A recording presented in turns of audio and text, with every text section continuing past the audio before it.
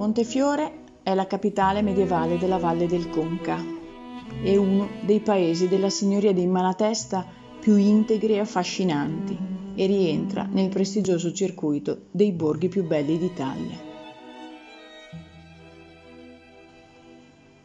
La rocca di Montefiore viene definita sentinella di pietra delle terre malatestiane e offre, con le sue geometrie severe e imponenti, scorci davvero unici.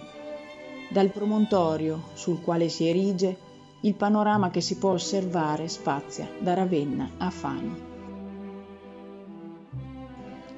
Riedificata nel XIV secolo da Malatesta III, detto l'Antico o il Guastafamiglia, sulle rovine di un antico castrum risalente al XII secolo, la rocca di Montefiore diverrà una delle più belle e ambite residenze della potente famiglia, nella quale alcuni dei signori decideranno di trascorrere gran parte delle loro vite.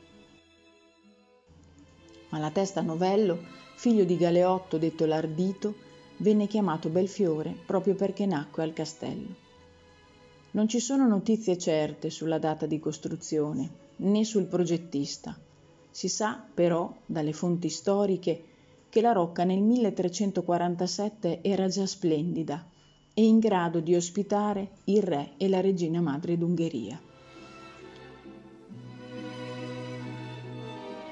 Arrivando nel cortile d'onore si scorge il pozzo, anch'esso del XIV secolo. La sua vera è composta da un unico blocco di marmo d'Istria bianco, sulla quale sono riportati gli stemmi della potente famiglia d'Este di Ferrara. Infatti, fra le due nobili casate esisteva un'alleanza che fu sancita dai matrimoni e che durò per diverse generazioni.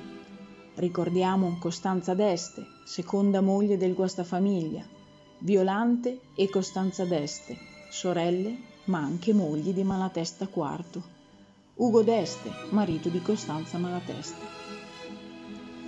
Il castello rimase sotto il dominio dei Malatesta con Sigismondo Pandolfo fino al 1458.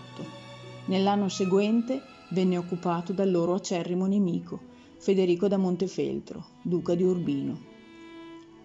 Le successive vicende del castello sono molto complesse, soprattutto per quanto riguarda il controllo politico del centro, che nei secoli XV e XVI fu oggetto di passaggi di potere quasi continui da Cesare Borgia ad un principe macedone di stirpe bizantina, Costantino Comneno.